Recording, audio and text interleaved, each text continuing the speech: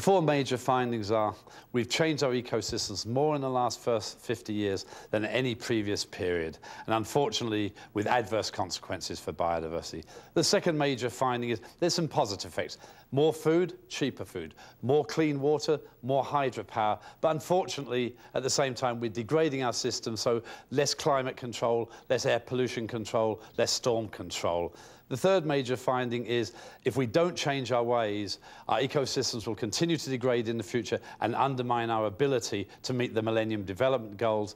And the fourth thing is the future is in our hands, but we have to make policy interventions to sustainably manage our ecosystem in the context of national economic planning.